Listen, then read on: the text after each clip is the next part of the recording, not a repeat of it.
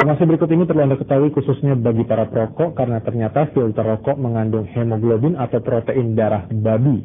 Fakta ini terungkap dari hasil riset peneliti dari Belanda dan Australia. Majelis Ulama Indonesia akan menyatakan haram jika hasil penelitian itu benar. Kabar itu datang dari Australia. Sebuah portal berita melaporkan tentang hasil riset terbaru bahwa salah satu bahan baku yang digunakan untuk membuat filter rokok adalah hemoglobin atau protein darah babi. Fakta ini diungkapkan oleh peneliti dari Eindhoven, Belanda, Kristen Mendersma, didukung oleh Profesor Kesehatan Masyarakat dari University of Sydney, Simon Chapman.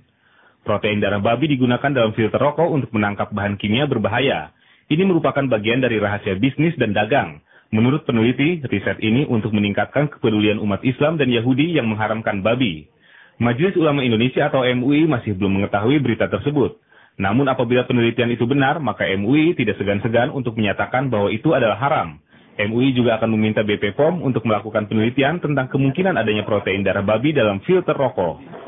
Ya kalau memang hasil penelitian itu benar, berarti harus kita hindari.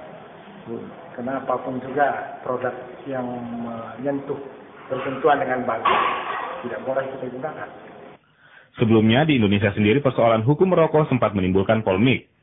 Terutama setelah Muhammadiyah mengeluarkan fatwa bahwa hukum merokok adalah haram karena dianggap bertentangan dengan Al-Quran.